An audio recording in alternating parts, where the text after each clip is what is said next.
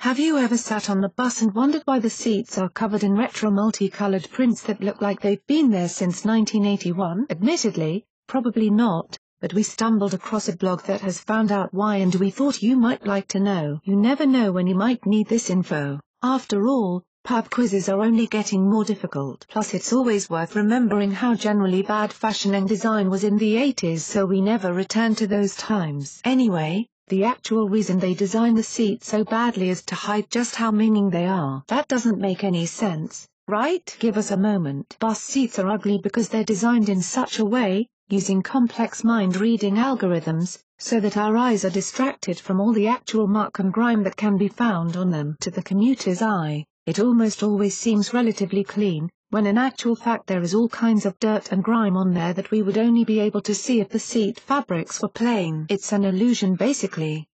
Because we absolutely dread to think what kinds of things are on there. The BBC also reports that this is one of the key reasons, but also explains that there are several others too. First up, there's the fabric to consider. Transport for London has historically adopted a wool moquette fabric, Harriet Wallace-Jones, co-founder of Wallace Sewell, the UK-based design studio that's designed fabrics for TfL, told the BBC wool is naturally flame retardant, and moquette is a pile fabric which has more durability than a flat woven cloth. The fabric is usually a mix of cut and uncut pile, which also makes it more durable. There's also the problem that fashions and trends often pass pretty quickly, so if you go for something that looks great at the time, chances are it'll look naff within months. Thankfully, someone's managed to see the beauty in all of it, having chosen to craft some unique trainers from some upcycled bus seat fabric. The distinctive shoes were a publicity stunt by First Buses in Ashton, Tameside,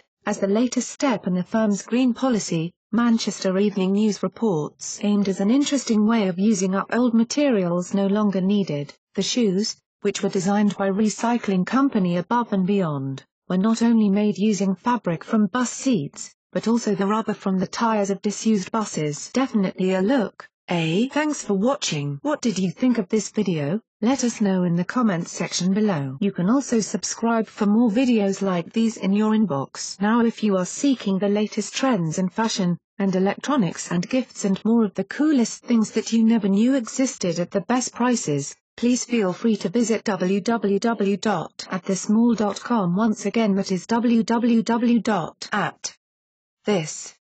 More.com If you are seeking the best in facial and clear skin regimens and products for women and men including an opportunity to earn residual income, please visit our partner at www.jdro.my,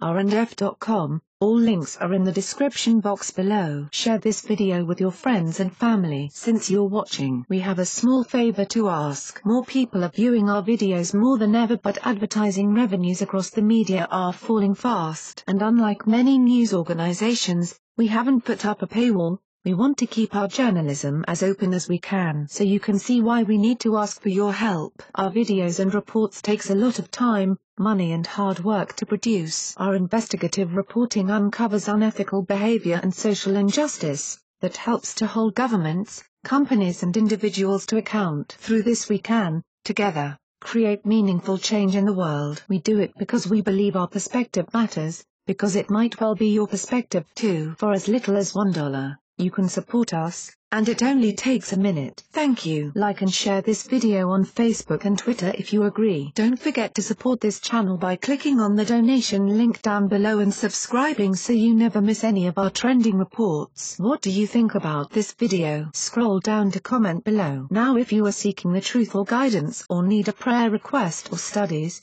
please visit followyeshua.com at www.follow. Y. E. S H U A now.com. Please note that we have changed to a new YouTube channel, the link is in the description box below, please subscribe to the new channel, as this one will no longer have new videos and reports posted to it anymore.